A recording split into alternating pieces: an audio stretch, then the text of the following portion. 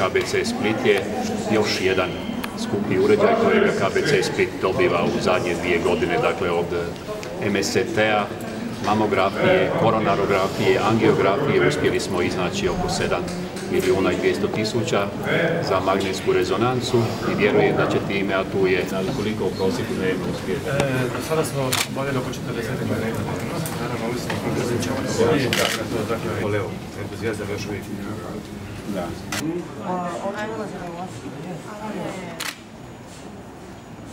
Jedan po jedan promijeni da se neće Mogla sam, ali za... čisto da se... Cijelo vrijeme se krla iza